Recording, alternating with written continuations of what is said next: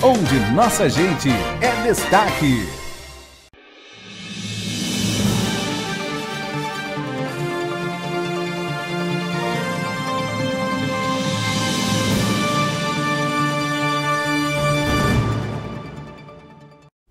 Olá, seja bem-vindo, seja muito bem-vinda a mais um Nordeste News. Confira agora os principais destaques de hoje. Registro de novas armas de fogo para a defesa pessoal cai 96% em um ano. E o Rio Grande do Norte tem o menor número desde 2000. O governo do Ceará estabelece novos critérios do cartão Ceará Sem Fome para ampliar famílias atendidas. Taxa paga por turistas para visitar Fernando de Noronha tem reajuste. Prefeitura de Parnamirim lança a programação oficial do Carnaval 2024. Mais informações e detalhes dos principais destaques da região Nordeste. A gente conta logo após o intervalo. Nordeste News está no ar.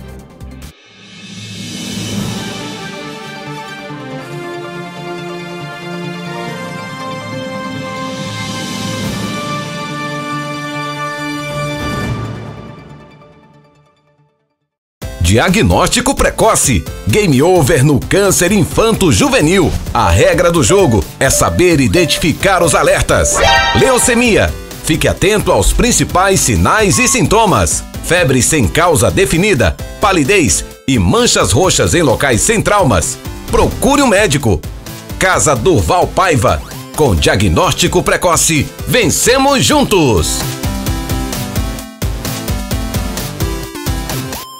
A Prefeitura de Parnamirim está concluindo o maior ano de obras de sua história. Asfalto no Parque Industrial, no Jardim Planalto e em Santos Reis. Obras concluídas. UBS de Bela Parnamirim e Novo CAPS. No centro, obras concluídas. Novo Centro Integrado de Saúde, em Santos Reis. Em nova sede do CEL, moderna e ampliada. Além de um centro cardiológico em Nova Parnamirim, climatizado e com novos médicos. Obras concluídas. E o trabalho não para. Muitas obras em andamento drenagem e pavimentação de Santa Teresa e da Toca da Raposa, construção do Parque Esportivo, recuperação de ginásios e praças, reforma do Museu da Segunda Guerra, mercados de Pium, Cajupiranga e Copab. E ano que vem tem mais obras, urbanização do centro, reforma do teatro, mais asfalto e mais pavimentação de ruas e o início da Via Verde, a maior obra viária de Parnamirim, 2023. O maior ano de obras da história. Prefeitura de Parnamirim. O trabalho não para.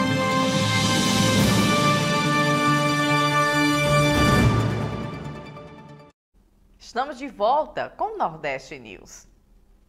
O Rio Grande do Norte teve, em 2023, a menor quantidade de novos registros de armas de fogo para defesa pessoal desde o ano 2000. Os dados são do Sistema Nacional de Armas da Polícia Federal. Na comparação com 2022, a queda foi de 96%. Ao todo, foram realizados 43 registros no ano passado, contra 1.326 registros de novas armas de fogo no período anterior. Os dados não levam em conta as armas de servidores públicos que têm prerrogativa de função, como é o caso de policiais. Considerando-se também esse grupo, o Estado teve 217 registros no ano passado. A redução da quantidade de registros no Estado reflete uma realidade nacional. No Brasil, foram mais de 20 mil novos cadastros, quase 82% a menos do que o total registrado no ano de 2022, que foram mais de 114 mil no país. O número foi menor, de, esse número foi o menor desde 2004. O governo do estado estabelece novos critérios do cartão Ceará Sem Fome para ampliar famílias atendidas. Os detalhes a gente confere agora com Alexandre Filho.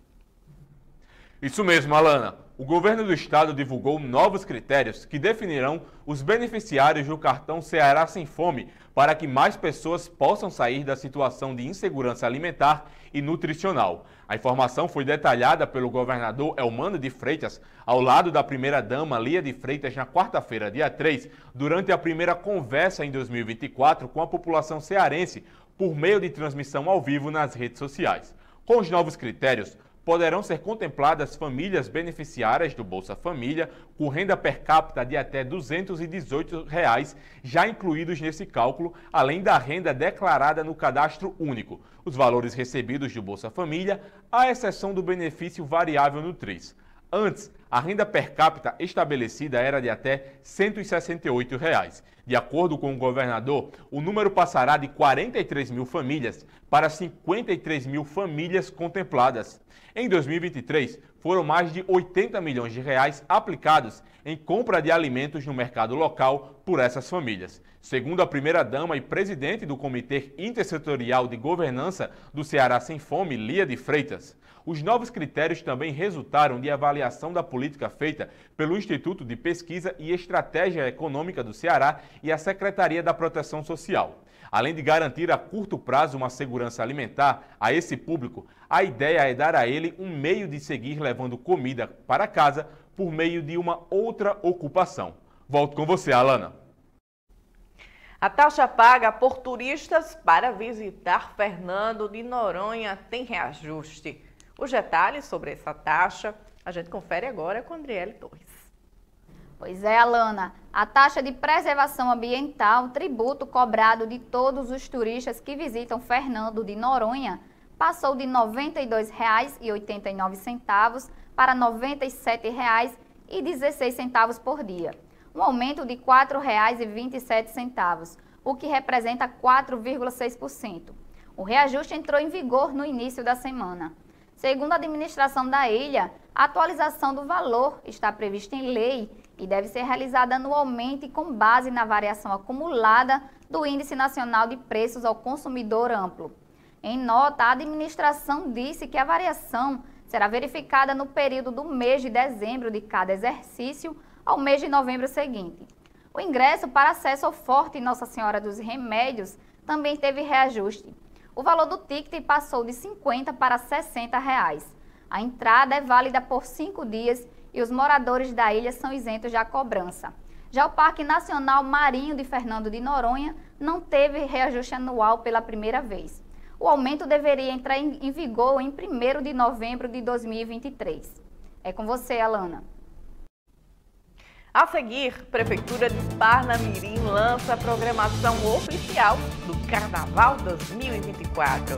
Os detalhes a gente conta logo após o intervalo. O Nordeste News volta em instantes. Até já!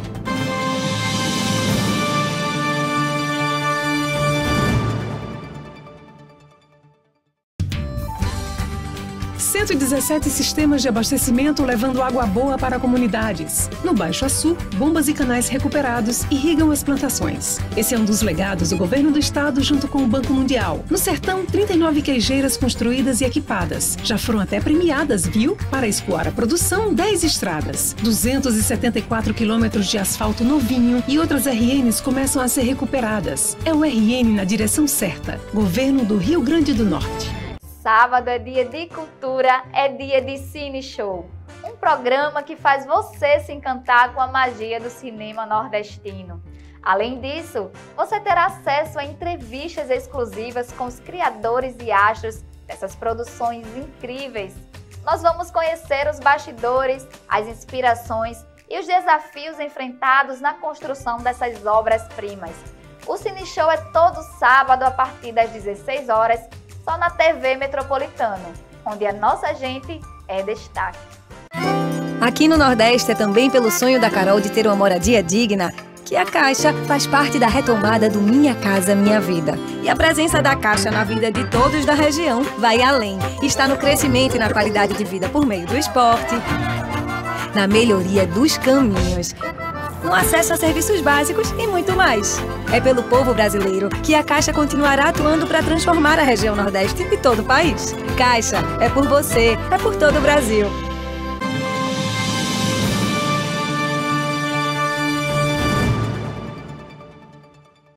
Estamos de volta com o Nordeste News.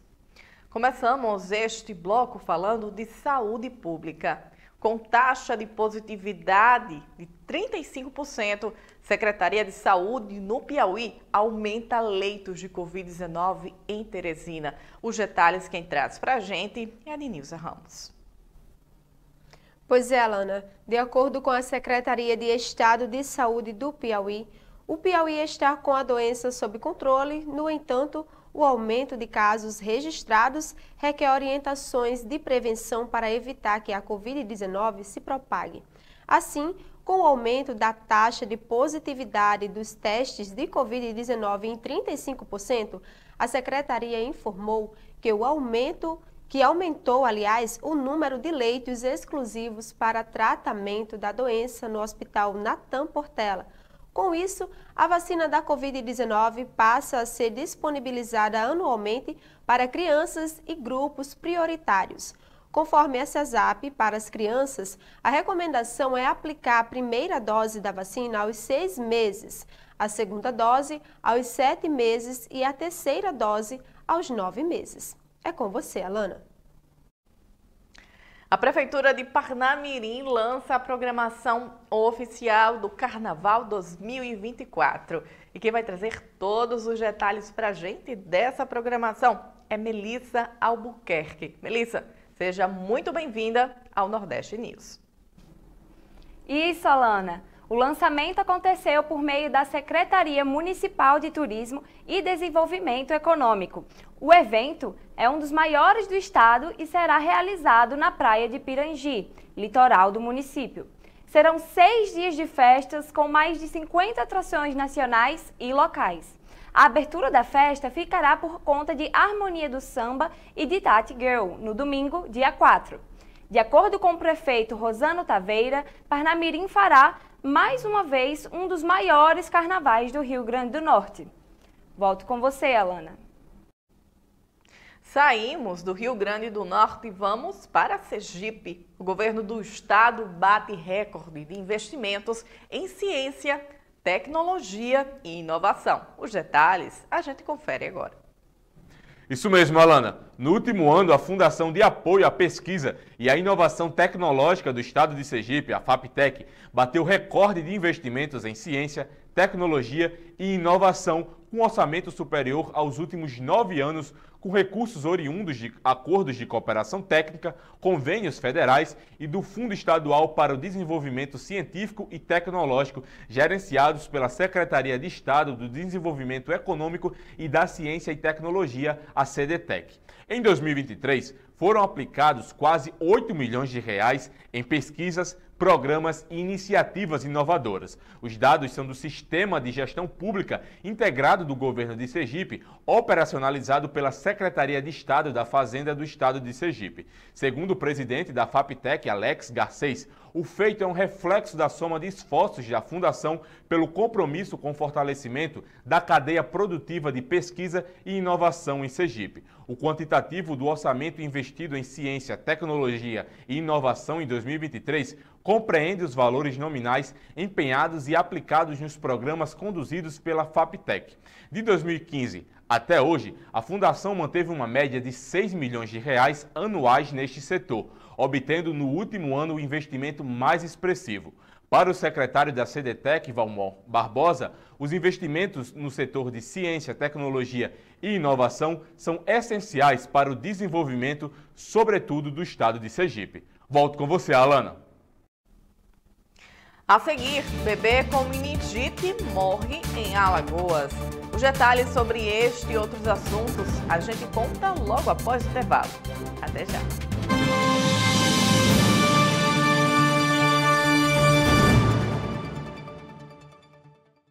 Diagnóstico precoce. Game over no câncer infanto-juvenil. A regra do jogo é saber identificar os alertas. Leucemia Fique atento aos principais sinais e sintomas: febre sem causa definida, palidez e manchas roxas em locais sem traumas. Procure um médico. Casa Durval Paiva. Com diagnóstico precoce, vencemos juntos!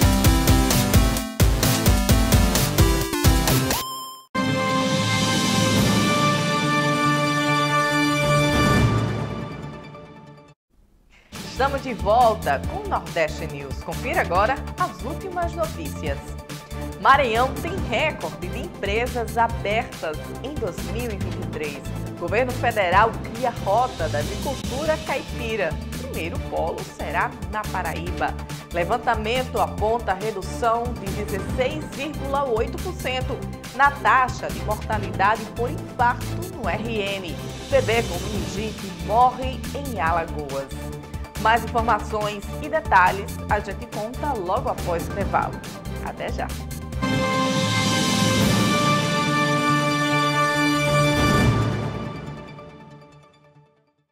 A Prefeitura de Parnamirim está concluindo o maior ano de obras de sua história. Asfalto no Parque Industrial, no Jardim Planalto e em Santos Reis. Obras concluídas. UBS de Bela Parnamirim e Novo CAPS. No centro, obras concluídas. Novo Centro Integrado de Saúde, em Santos Reis. Em nova sede do CEL, moderna e ampliada. Além de um centro cardiológico em Nova Parnamirim, climatizado e com novos médicos. Obras concluídas. E o trabalho não para. Muitas obras em andamento drenagem e pavimentação de Santa Teresa e da Toca da Raposa, construção do Parque Esportivo, recuperação de ginásios e praças, reforma do Museu da Segunda Guerra, mercados de Pium, Cajupiranga e Copab. E ano que vem tem mais obras, urbanização do centro, reforma do teatro, mais asfalto e mais pavimentação de ruas e o início da Via Verde, a maior obra viária de Parnamirim 2023. O maior ano de obras da história. Prefeitura de Parnamirim. O trabalho não para.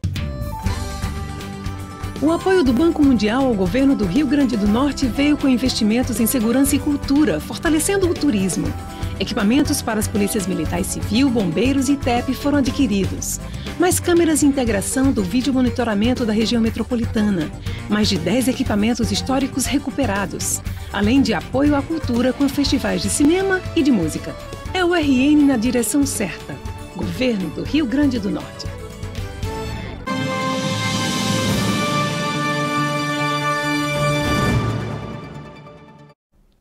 De volta. O Maranhão tem recorde em empresas de empresas abertas em 2023. Ednilza Ramos volta trazendo mais detalhes sobre este assunto. Isso mesmo, foram mais de 53 mil empresas abertas entre janeiro e dezembro do ano passado. Outro destaque foi no transporte rodoviário de carga, que saiu de 524 para 738. A crescente abertura de novas empresas vem se consolidando ano após ano.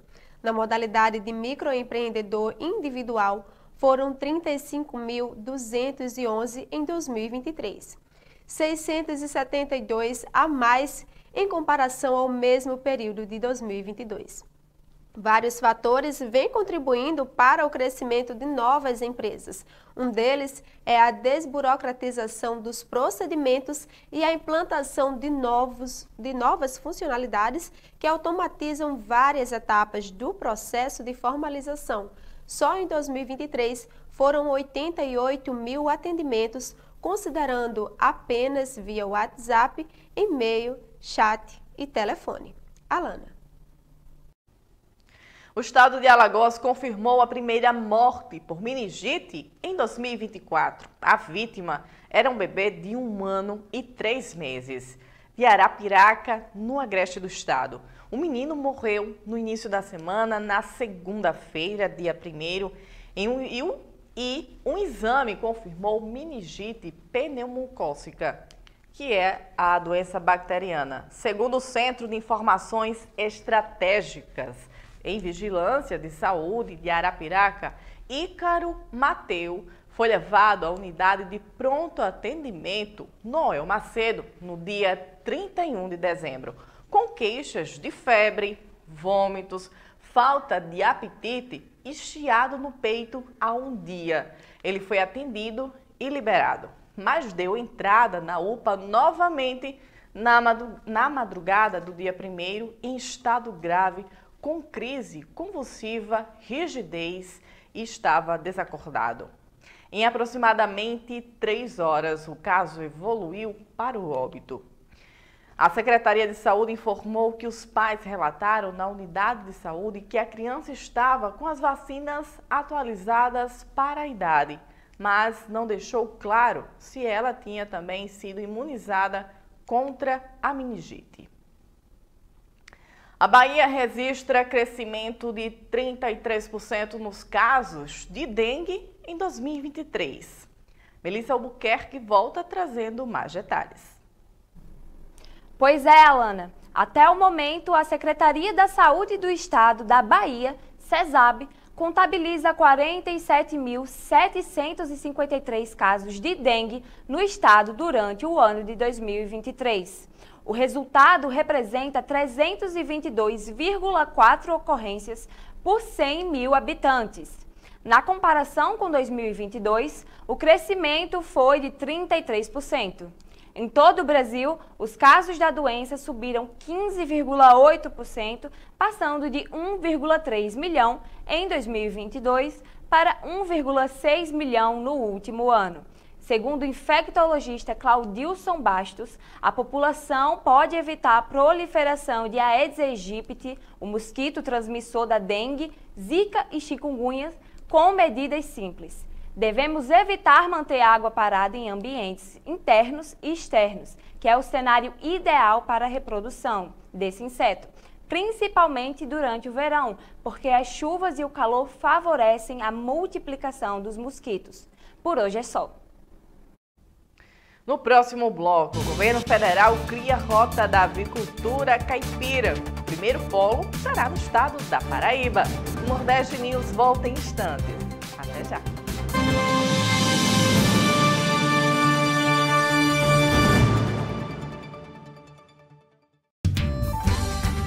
117 sistemas de abastecimento levando água boa para comunidades. No Baixo Açu, bombas e canais recuperados irrigam as plantações. Esse é um dos legados do governo do estado junto com o Banco Mundial. No sertão, 39 queijeiras construídas e equipadas. Já foram até premiadas, viu? Para escoar a produção, 10 estradas, 274 quilômetros de asfalto novinho e outras RNs começam a ser recuperadas. É o RN na direção certa. Governo do Rio Grande do Norte. Sábado é dia de cultura, é dia de Cine Show. Um programa que faz você se encantar com a magia do cinema nordestino. Além disso, você terá acesso a entrevistas exclusivas com os criadores e astros dessas produções incríveis. Nós vamos conhecer os bastidores, as inspirações e os desafios enfrentados na construção dessas obras-primas. O Cine Show é todo sábado a partir das 16 horas só na TV Metropolitana, onde a nossa gente é destaque. Aqui no Nordeste é também pelo sonho da Carol de ter uma moradia digna que a Caixa faz parte da retomada do Minha Casa Minha Vida. E a presença da Caixa na vida de todos da região vai além. Está no crescimento e na qualidade de vida por meio do esporte, na melhoria dos caminhos no acesso a serviços básicos e muito mais. É pelo povo brasileiro que a Caixa continuará atuando para transformar a região Nordeste e todo o país. Caixa, é por você, é por todo o Brasil.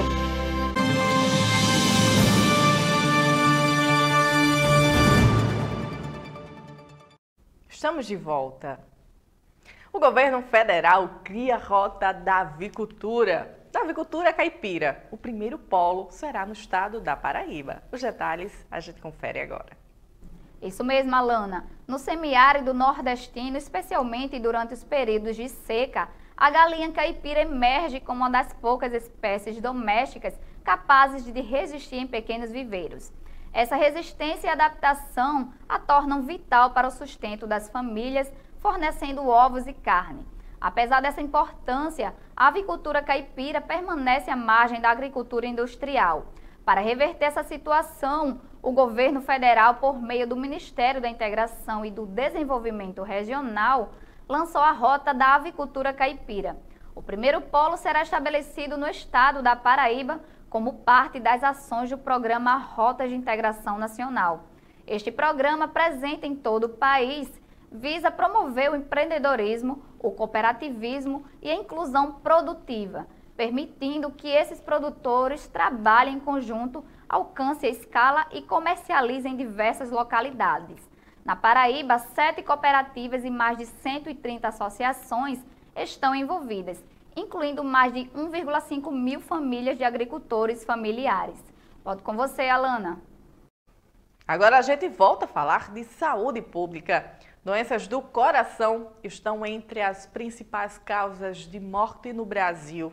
E segundo informações do levantamento feito junto ao DataSUS, a taxa de mortalidade por infarto agudo miocárdio no Rio Grande do Norte, que já foi uma das mais elevadas do país, entre janeiro e outubro de 2023, caiu 16,8% em comparação com o mesmo período de 2022. Naquele ano, o estado registrou 219 óbitos por infarto. O número caiu para 151 em 2023. Assim, a taxa de mortalidade caiu de 8,3% para 6,9%. Considerando o cenário nacional, a média da taxa de mortalidade em 2022 foi de 9%, o que significa que o RN se encontra 2,1 pontos percentuais abaixo da média do país. As internações também caíram, passando de 2.552 no ano passado para 2.188 internados este ano. Agora a gente muda de assunto e fala de esporte aqui no Nordeste News com Alexandre Filho. Pois é, Alana, mais uma vez aqui para falar do nosso futebol, para falar do futebol nordestino. E começamos hoje falando a respeito do futebol de base, porque o ABC estreou na Copinha, maior competição das categorias de base, e estreou mal. Perdeu para o Coimbra por 5 a 0, foi goleado em uma estreia vexatória eu diria. O ABC agora foca as suas atenções para a segunda rodada, que acontece no próximo sábado, quando vai tentar sua recuperação diante do time do Sampaio Correia. Falando agora do time profissional, que segue a sua pré-temporada, visando o jogo importantíssimo do próximo sábado contra o Souza pela pré-copa do Nordeste, e o ABC já tem é, esse jogo importantíssimo que já abre os trabalhos com uma decisão na temporada de 2024. E os comandados do Rafael Lacerda vão seguindo é, a pré-temporada, visando esse duelo importantíssimo, trabalhando firme, trabalhando forte. O ABC fez uma série é, é, de amistosos, de jogos treino, é, visando entrar na melhor forma possível. Difícil nesse início de temporada, mas visando entrar na melhor forma possível para enfrentar o time do Souza da Paraíba. Outro time potiguar que vai estar também na pré-copa do Nordeste é o Potiguar de Mossoró, que vai enfrentar o Sampaio Correia no domingo às 16 horas. Então vamos torcer aí né, para termos dois representantes do nosso estado é, na fase de grupos da Copa do Nordeste. E vale lembrar que o América, por ter sido campeão estadual em 2023, já está garantido na fase de grupos. Falando agora do futebol baiano, o Vitória anunciou um pacote de oito reforços. Mas o que chama mais atenção é o do Christian Zapata, colombiano de 37 anos, que coleciona passagens pelo futebol europeu e a principal é, passagem, o principal clube que ele atuou foi o Milan, é, o time italiano. Então, um reforço importante, eu diria, para o time do Vitória, visando a temporada de 2024. Vitória que conquistou a Série B em 2023 e agora tenta se manter na Série A em 2024. Indo para o futebol cearense, o Ceará anunciou a contratação do Matheus Felipe, jogador que pertencia ao Atlético Paranaense de 25 anos e chega para reforçar o time cearense para a temporada de 2024. Falando agora do seu rival, o Fortaleza, Fortaleza encaminhou é, um acordo de compra do goleiro Santos, que pertence ao Flamengo, goleiro de 33 anos, que chegaria para substituir o goleiro Fernando Miguel, que foi justamente para o maior rival do Fortaleza, que foi reforçar o time do Ceará. Caso consiga essa contratação, caso consiga efetivar a contratação do goleiro Santos, seria uma bela substituição, é, saindo do Fernando Miguel e, e, e, indo para o goleiro Santos. Vale lembrar que também que tem o João Ricardo no time do Fortaleza, então seria uma disputa interessante. Bom, por hoje é só e amanhã estarei de volta trazendo outras notícias acerca do nosso futebol, acerca do futebol nordestino. É com você, Alana. Combinado, Alexandre. E assim, mais uma edição do Nordeste News vai ficando por aqui. Muito obrigada, gratidão pela sua companhia até o momento. Amanhã o Nordeste News estará de volta neste mesmo horário. Até lá!